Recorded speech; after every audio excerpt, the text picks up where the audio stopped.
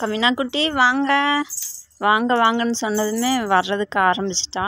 அப்போ தான் எங்களுக்கே புரிஞ்சது. நம்ம ஒரு சில விஷயங்களை அவங்களுக்கு கற்றுக் கொடுக்கும்போது அவங்களும் நம்மளுக்கு கற்றுக் கொடுக்குறாங்க பாருங்கள் எந்த ஒரு சின்ன செயலாக இருந்தாலும் கூட அதில் நம்ம கொடுக்குற ஊக்கம் தான் அவங்களுக்கு ரொம்ப முக்கியமாக அமையுது. அந்த ஒரு செயலை சிறப்பாக செஞ்சு முடிக்கிறதுக்கு.